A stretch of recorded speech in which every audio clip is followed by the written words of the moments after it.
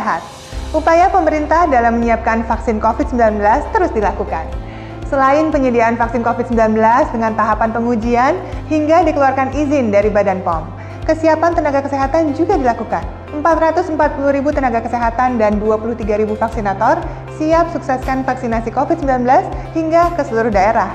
Nah, untuk mengetahui bagaimana persiapannya, saat ini saya sudah bersama dengan Bapak Oscar Primadi MPH, Sekretaris Jenderal Kementerian Kesehatan.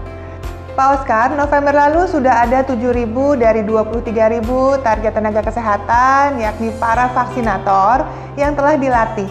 Nah, boleh nggak dijelaskan bagaimana sih perkembangannya dan seperti apa modul pelatihannya bagi para vaksinator tersebut? Sampai dengan 5 Desember dari data yang saya dapat ini sudah dilakukan pelatihan sebanyak 12.408 orang untuk 21 provinsi Nah, sementara workshop penyiapan bagi tenaga vaksinator ini telah dilangsungkan untuk 29.635 orang dari 34 provinsi. Artinya semuanya berjalan sesuai dengan rencana kita dan insya Allah kesiapan-kesiapan itu kita jaga dari sisi jumlah proporsional dari semua provinsi akan tercakup. Tentunya modul-modulnya itu kita adaptasi kepada yang selama ini sudah menjadi kurikulum dalam bentuk uh, virtual. Daerah mana saja Pak yang sudah berhasil melakukan simulasi dan bagaimana dengan kesediaan alat kesehatan untuk program vaksinasi massal nanti? Di uh, Kota Bogor, yang simulasi itu dihadir Bapak Jokowi sendiri bersama tentunya yeah. dengan Pak Menteri Kesehatan. Kemudian di Puskesmas Cikarang Utara di Bekasi khususnya ya pada tanggal 19 November. Nah hadir di situ Pak Wakil Presiden kita Pak Ma'ruf Amin. Artinya semuanya itu memang harus dilakukan seperti ini baru kita tahu gitu.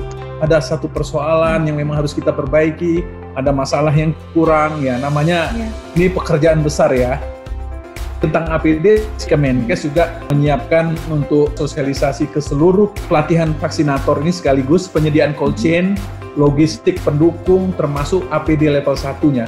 Jadi rencana semuanya itu sudah berjalan dan diikuti dengan penyiapan-penyiapan pembiayaan yang sudah diukur dan direncanakan dengan baik. Selain proses pemberian vaksinasi nantinya yang tidak kalah penting tentunya adalah bagaimana kita bisa mengedukasi masyarakat sebelum divaksin.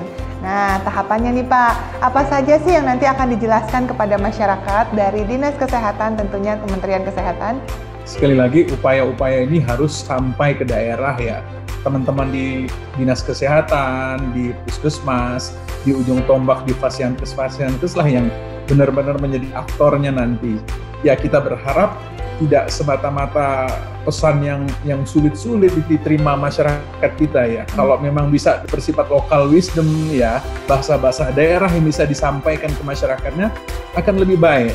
Tapi secara umum dalam konteks ini kita tentunya sudah membuat semacam guidance ya untuk teman-teman mengkomunikasikan itu Pertama-tama barangkali tahap tahapan kita menginginkan bahwa teman-teman itu paham bahwa betapa pentingnya vaksinasi. Pemahaman kita tentang kehalalan juga sudah kita upayakan penguatan dengan uh, Majelis Ulama Indonesia misalnya. Semuanya itu uh, betul-betul sudah disiapkan oleh pemerintah secara dini dan tentunya akan memberikan uh, penguatan kepada teman-teman daerah untuk dapat mengkomunikasikan dengan dengan, dengan baik. Yang ketiga adalah efektivitas daripada vaksinasi itu juga harus dikomunikasikan dengan benar ya. Karena sekali lagi vaksin yang efektif itu tentunya untuk melindungi individu dan juga masyarakat dari penularan terhadap penyakit-penyakit dan juga kemungkinan mengalami gejala yang lebih ringan bila terkena penyakit tersebut. Seperti misalnya vaksin influenza. Namun yang tidak boleh ditinggalkan oleh masyarakat kita dan saya berharap teman-teman daerah juga mengkomunikasikannya dengan ini dengan baik bahwa mematuhi kemudian menjalankan protokol kesehatan dengan baik itu adalah paling ampuh dari semua upaya-upaya yang selama ini sudah kita yakini akan memberi perlindungan kepada masyarakat. Berdasarkan program imunisasi-imunisasi di Indonesia yang sejak dulu sudah ada, apa sih yang sebenarnya menjadi tantangan dalam pemberian vaksin ke masyarakat selama ini, Pak? Yang pasti Indonesia ya. besar sekali, sisi keterjangkauan, masih ada daerah-daerah yang disebut dengan daerah terpencil, kemudian daerah perbatasan, daerah kepulauan ya.